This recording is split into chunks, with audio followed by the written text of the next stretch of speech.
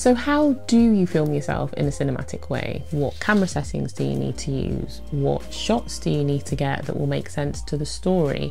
How do you film the whole sequence? And what camera gear do you absolutely need that is completely non-negotiable? I'm going to answer all these questions in this video and I'm going to go through the practical steps that I go through when I want to film myself in a cinematic way as simply as possible, only using one camera but making it look as though I filmed with a multi-camera setup.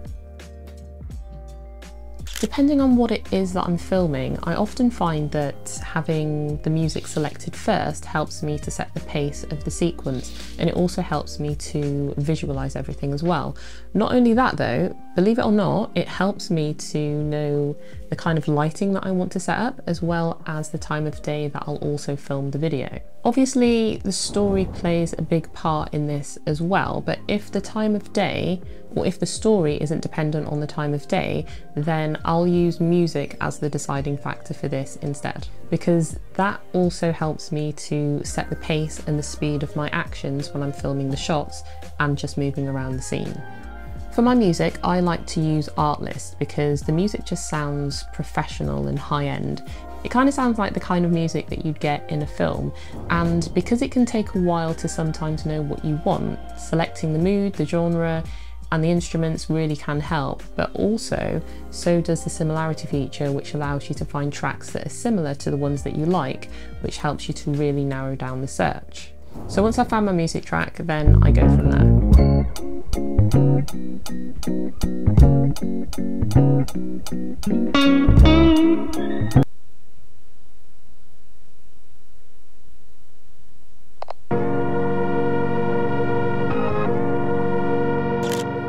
So when it comes to camera settings, there are three main components that I use to get that cinematic look. So starting with the first one, I tend to choose 25 FPS because it's close enough to 24 FPS, which is typically what is used in movies, so our eyes are already trained to associate that look with being cinematic. So if you typically tend to shoot with 30 FPS, then it's a good idea to try and drop that down to 24 FPS instead. I shoot in 25 FPS because I'm in Europe and it's to do with the electrical frequencies, but all the other videos that I shoot are also in 25 FPS as well. So I don't want to start mixing frame rates because I use a lot of the footage I shoot across multiple projects. Now the second camera setting is the shutter speed. So one of the other ways to get a cinematic look is to have natural looking motion blur in the shot. Anything else looks kind of jittery and just not smooth. So because I shoot in 25 FPS, I set my shutter speed to 1 50th of a second to adopt what's called the 180 degree shutter shutter rule, which means to set your shutter to double your frame rate if you want to have that natural motion blur.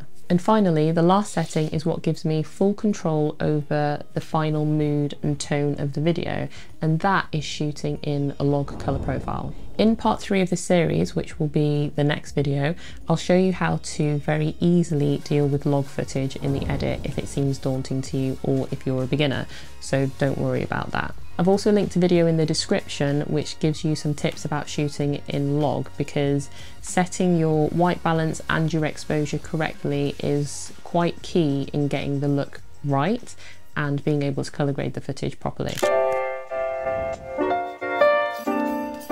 When it comes to camera gear, honestly, you can keep this very simple. You can use two cameras if you want to, but you can just as easily use one and get great results. And it's sometimes a lot more simple to do it with a single camera when you have no one else to help you. Ideally, your camera will have a flip out screen so that you can see yourself, or you can get an external monitor. You don't need to spend a lot of money here as you just want to be able to check that you're in focus and in the frame correctly. And having a bigger screen in order to do that does make a difference. But if you've got your computer or your laptop in the room, you could even just get a long HDMI cable and monitor yourself in the software OBS. And that's something that I tend to do sometimes. Then the next thing that you're going to need is a tripod. And if you're restricted by space, much like I am in this room, then you can use something like this round based monopod, which I have. And it's really easy and it's really quick to set up and it's really quick to just put it up and put it down to adjust the height. But also to stop you from having to touch the camera once you've already set it up, so not having to touch the record button, having a remote control is great, especially one like this that allows you to stay in position and set your focus manually from the control itself. Unless I'm I'm filming a talking head, I tend to use manual focus to have full control and make sure that the focus is exactly where I want it to be. But having this remote makes it easy to make sure that I'm in focus if I'm going to be in the frame and I'm too far away from the camera to set the focus on the on the lens itself. The next thing that I use is a shotgun mic on my camera. I have this so that I can get the natural sound effects that happen as I film. But if the camera's too far from the action and the shotgun mic's on top of the camera, or if you started filming and just the audio just didn't come out very well for the sound effects, then you can just add these later on in post. And Artlist again has a sound effects library where you can go and you can pick out the best sound effects for the action that's happening. So it's not a big deal if you don't capture it all together in the first instance. Artlist has loads of sound effects to choose from on the site and it's really easy to find what you're looking for, but I'll go into that in more detail in the next video. You could also just position a wireless mic near the action out of shot if you'd rather just capture the sound effects there and then. So that's a really good way to just get those sound effects if your shotgun mic is too far away.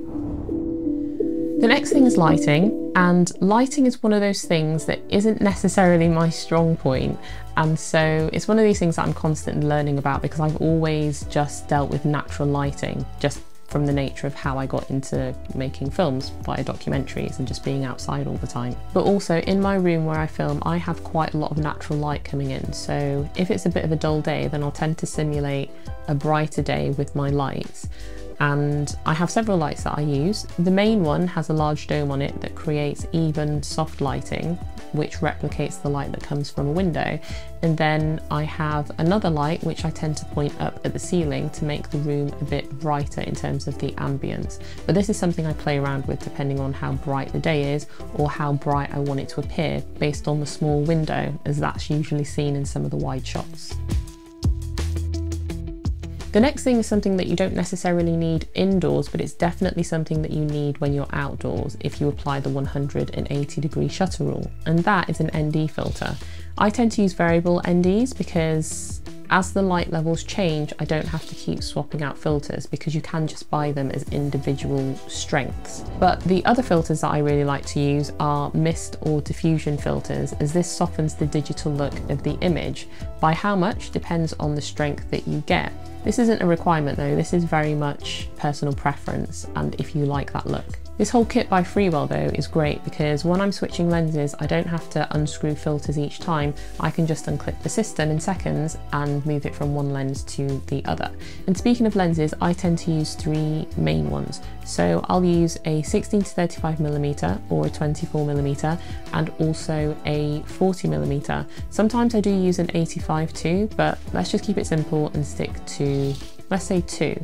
So the 16 to 35 millimeter is great for having wide to medium shots without needing to switch lenses. Then I use the 40 millimeter close focus lens by Zeiss as I can get close-up shots by getting very close to the subject without needing a macro lens. And that's one of the benefits of this 40mm close focusing lens and it's one of the reasons why I use it for a lot of product shots in the videos that I do because it just produces such great results and you can get really close to lots of detail. You might also see me using one of these. This is a V-mount battery and these just let me shoot for hours without having to worry about switching batteries all the time because obviously the smaller batteries die a lot quicker. So this is again an optional piece of kit, but it's one that I just wouldn't be without anymore.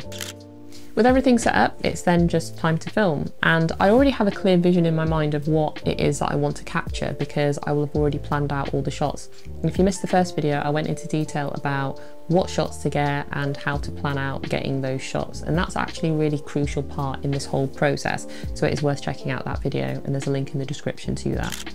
So when you film a sequence, you don't have to film every single step of the action. Viewers are intelligent enough to fill in the gaps, so you don't have to spoon feed them everything. But it can be good practice to shoot each step so that you have a variety of shots in the edit. But again, I talked about this in the first video. I tend to capture the entire sequence in a linear way as the action unfolds, which can be tricky if you only use one camera, but I will film all or as much of the action that I can as my main master shot, which typically tends to be a wide or medium shot. Then I'll reposition the camera closer to the action and repeat that same action as I did before, but just getting the close-up shots and trying to maintain continuity.